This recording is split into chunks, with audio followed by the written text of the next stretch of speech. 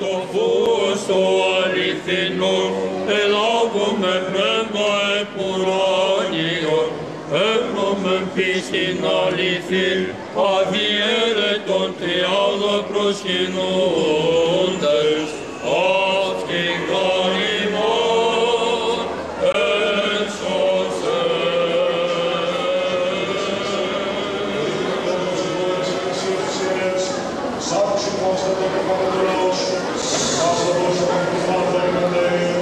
παραθέστε να βρέξουν τα δώσε πρώτον, Εσκητών σαν λένε αριστεία και προσκύτηση να αναπέμπουμε, το Πατρί και τον Υιό και τον Αγίο Πνεύμα και την Καία και εις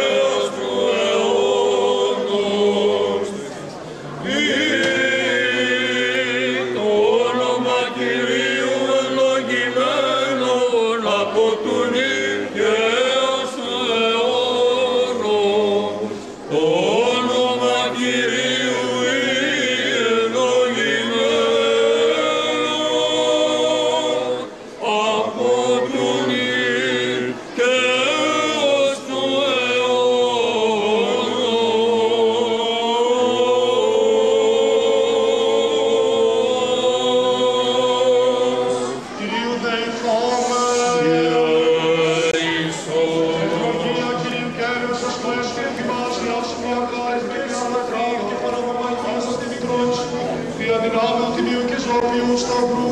Προστασία σου πιο εφορανίων δυνάμεων προσωπάτων.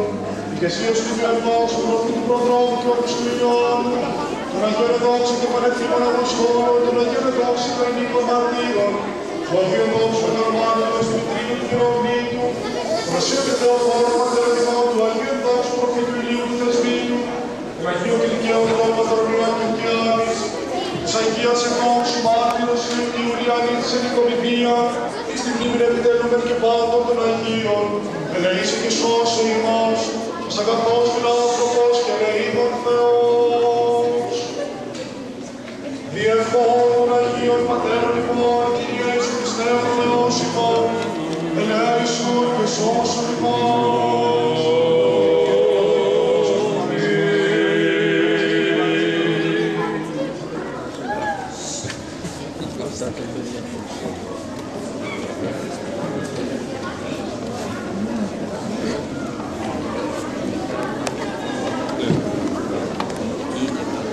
Gracias.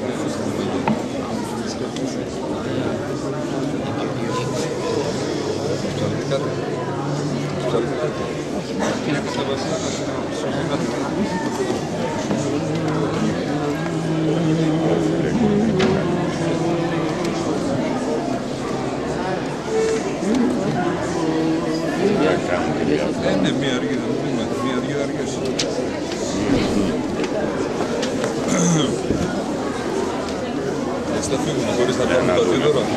Να δούμε. Θα γίνει και το αγκόρ τώρα, το ωραίο. Αφήστε σας ψηφιά.